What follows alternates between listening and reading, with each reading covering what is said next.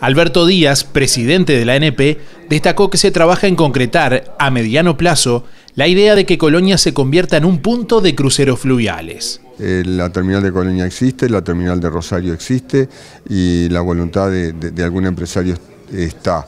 Ahora vamos a ver si, cómo hay que trabajar para ver si los números cierran, si el momento es el adecuado, pero no, no es un proyecto para nosotros de largo plazo, es un proyecto que tenemos que definir ahora si se puede hacer ahora o no. Por otra parte, Díaz anunció que esta semana comenzarán los estudios de suelo en el puerto de Juan Lacase, con el fin de realizar obras de ampliación.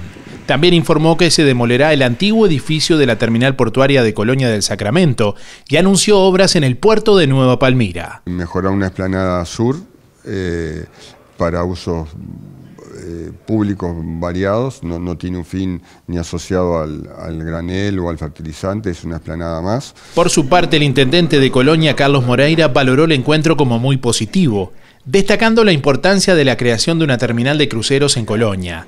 También manifestó que espera avanzar en otros temas que preocupan. Por ejemplo, en Nueva Palmira, que tenemos problemas con los accesos, que están en muy mal estado, ver cómo podemos hacer una especie de sociedad entre privados, este, Gobierno Nacional, Administración de Puertos, Ministerio de Transporte y la Intendencia, porque ahí hay problemas de, polvo, sobre todo en el verano, cuando hay cientos de camiones circulando por allí. Desde Colonia, Darío Izaguirre, InfoTNU.